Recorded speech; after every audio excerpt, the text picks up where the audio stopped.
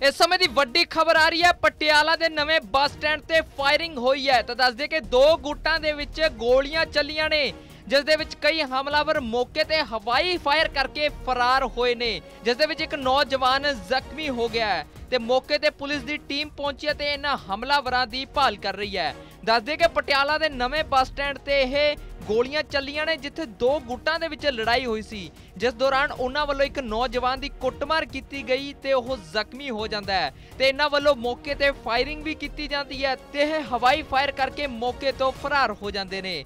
ਜਿਸ ਤੋਂ ਬਾਅਦ ਇਸ ਸੰਬੰਧੀ ਸੂਚਨਾ ਪੁਲਿਸ ਨੂੰ ਦਿੱਤੀ ਜਾਂਦੀ ਹੈ ਤੇ ਪੁਲਿਸ ਦੀ ਟੀਮ ਮੌਕੇ ਤੇ ਪਹੁੰਚਦੀ ਹੈ ਤੇ ਸੀਸੀਟੀਵੀ ਦੇ ਆਧਾਰ ਤੇ ਇਹਨਾਂ ਹਮਲਾਵਰਾਂ ਦੀ ਭਾਲ ਕੀਤੀ ਜਾ ਰਹੀ ਹੈ। ਤਾਂ ਦੱਸ ਦਈਏ ਕਿ ਵੱਡੀ ਵਾਰਦਾਤ ਹੋਈ ਹੈ ਪਟਿਆਲਾ ਦੇ ਨਵੇਂ ਬੱਸ ਸਟੈਂਡ ਦੇ ਉੱਤੇ, ਜਿੱਥੇ ਦੋ ਗੁੱਟਾਂ ਦੇ ਵਿੱਚ ਦੱਸਿਆ ਜਾ ਰਿਹਾ ਹੈ ਕਿ ਲੜਾਈ ਹੋਈ ਸੀ ਤੇ ਇੱਕ ਨੌਜਵਾਨ ਦੀ ਉਹਨਾਂ ਦੇ ਵੱਲੋਂ ਕੁੱਟਮਾਰ ਕੀਤੀ ਗਈ ਹੈ। ਜਦੋਂ ਉੱਥੇ ਕਾਫੀ ਭੀੜ ਜਮ੍ਹਾਂ ਹੋ ਜਾਂਦੀ ਹੈ ਤੇ ਹਮਲਾਵਰ ਮੌਕੇ ਤੇ ਹਵਾਈ ਫਾਇਰ ਕਰਕੇ ਫਰਾਰ ਹੋ ਜਾਂਦੇ ਨੇ। ਤੇ ਇਸ ਸੰਬੰਧੀ ਪੁਲਿਸ ਦਾ ਕਹਿਣਾ ਹੈ ਕਿ ਇਹਨਾਂ ਵੱਲੋਂ 3 ਤੋਂ 4 ਰਾਉਂਡ ਜਿਹੜੇ ਉਹ ਫਾਇਰ ਕੀਤੇ ਗਏ ਸੀ।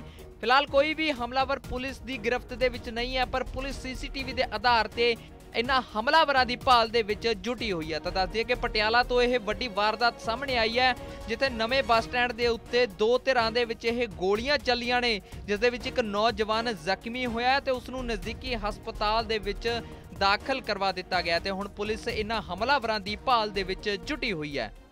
ਕਿ ਬੱਸ ਸਟੈਂਡ ਦੇ ਵਿੱਚ ਕੋਈ ਫਾਇਰਿੰਗ ਵਗੈਰਾ ਦਾ ਇਨਸੀਡੈਂਟ ਹੋਇਆ ਹੋਵੇਗਾ ਤਾਂ ਉਸ ਦੇ ਸੰਬੰਧੀ ਇੱਥੇ ਮੀਡੀਆ ਆਪਣਾ ਕੈਮਰੇ ਵਗੈਰਾ ਦੇਖਣੇ ਦੇਖੇ ਜਾ ਰਹੇ ਆ।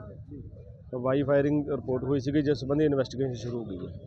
ਬਰਾੜ ਸਾਹਿਬ ਦੋ ਗੁੱਟਾਂ ਦੀ ਲੜਾਈ ਹੋਈ ਹੈ ਇੱਕ ਮੁੰਡੇ ਦੇ ਉੱਪਰ ਕਹਿੰਦੇ ਹਮਲਾ ਕੀਤਾ ਗਿਆ। ਇਹ ਜੋ ਹਜੇ ਤੱਕ ਕੈਮਰੇ ਵੇਖਣ ਤੋਂ ਲੱਗਦਾ ਵੀ ਦੋ ਗੁੱਟਾਂ ਦੀ ਹੋ- ਹੋਈ ਹੈ। ਪਰ ਉਹ ਦੋਵੇਂ ਹਜੇ ਪੂਰੀ ਇਨਵੈਸਟੀਗੇਸ਼ਨ ਤੋਂ ਬਾਅਦ ਪਤਾ ਲੱਗੇਗਾ ਵੀ ਇਹਨਾਂ ਦਾ ਕੀ ਕਾਰਨ ਹੈ ਜਾਂ ਕੀ ਗੱਲਬਾਤ ਹੋਈ ਹੈ। ਸੀਸੀਟੀਵੀ ਕੈਮਰਾ ਦੇਖੇ ਕੁਝ ਪਤਾ ਲੱਗਿਆ ਉਹਦੇ ਵਿੱਚ? ਹਾਂਜੀ ਹਜੇ ਦੇਖ ਰਹੇ ਆ ਪ੍ਰੋਪਰ ਹਜੇ ਇਨਵੈਸਟੀਗੇਸ਼ਨ ਚੱਲ ਰਹੀ ਆ। ਮੁੱਢਲੀ ਸਟੇਜ ਤੇ ਕੁਝ ਕਹਿਣਾ ਹਜੇ ਵਾਜਬ ਨਹੀਂ ਹੈਗਾ। ਕੋਈ ਗ੍ਰਿਫਤਾਰੀ ਵੀ ਪਈ ਹੈ ਸਰ ਜ਼ਿਆਦਾ? ਨਹੀਂ ਹਜੇ ਇਹਦੇ ਚ ਇਨਵੈਸਟੀਗੇਸ਼ਨ ਸ਼ੁਰੂ ਹੋਈ ਹੈ ਜੀ ਹਜੇ। ਅੰਮ੍ਰਿਤਸਰ ਕੋਈ ਫੜਿਆ ਵੀ ਗਿਆ ਜੀ? ਨਹੀਂ ਇਹਦੇ ਚ ਇੱਕ ਉਹਨੂੰ ਉਸ ਤੋਂ ਇਨਵੈਸਟੀਗੇਸ਼ਨ ਚੱਲ ਰਹੀ ਹੈ ਹਜੇ ਕੋਈ ਉਸ ਤਰੀਕੇ ਨਾਲ ਫੜਿਆ ਗਿਆ ਨਹੀਂ ਹਜੇ ਇਹਦੇ ਬਾਰੇ ਇਨਵੈਸਟੀਗੇਸ਼ਨ ਸ਼ੁਰੂ ਕੀਤੀ ਹੋਈ ਆ। ਜਲਦੀ ਪਤਾ ਲੱਗ ਜਾਏਗਾ ਇਹ ਅਰਾਊਂਡ ਤਿੰਨ ਚਾਰ ਰਾਉਂਡ ਫਾਇਰ ਹੋਏ